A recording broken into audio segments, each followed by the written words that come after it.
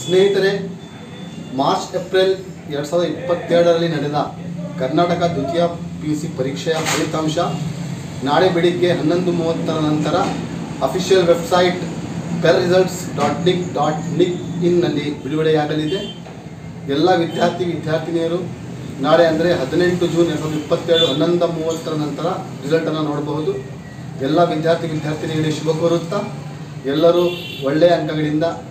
ಉತ್ತೀರ್ಣರಾಗುತ್ತಾರೆ ನಂಬುತ್ತಾ ಎಲ್ಲ विद्यार्थी विद्यार्थियों को ऑल द बेस्ट दोस्तों मार्च अप्रैल 2022 में हुए secondary PU Karnataka secondary PU C examination का रिजल्ट कल यानी 18 जून 2022 को सुबह साढ़े ग्यारह बजे के बाद 11:30 के बाद ऑफिशियल वेबसाइट कर results dot nic dot in में आएगा तो तमाम तलबा और तालबात को मेरी तरफ से ऑल द बेस्ट और अल्लाह से दुआ है कि आप तमाम अच्छे नंबर से कामयाब हो थैंक यू